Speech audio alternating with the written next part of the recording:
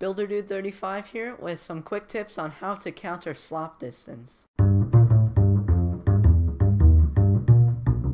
Slop distance is an important metric to mind when you're building an FLL or WRO robot because it's essentially a measurement of the inconsistency when your robot is driving around in millimeters.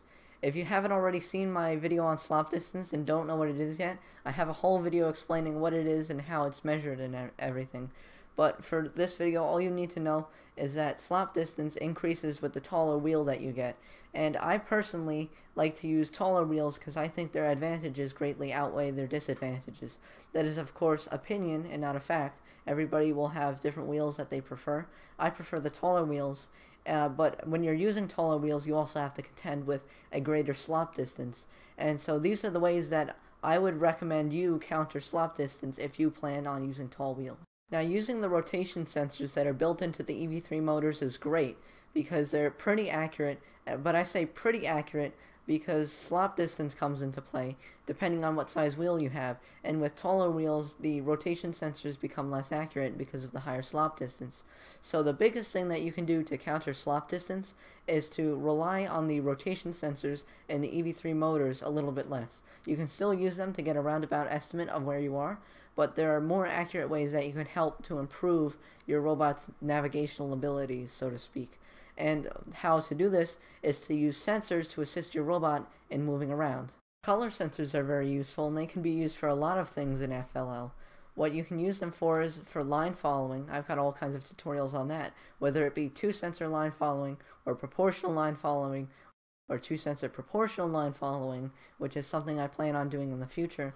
Or you could also use them for line squaring. And what line squaring is good for is getting your robot at the right angle, a 90 degree angle to a given line, and it also uh, sets your position to the right place.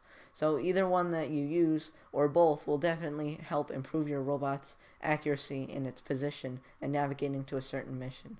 Another idea is to use touch or ultrasonic sensors to detect your proximity to reference points like mission models or something like that.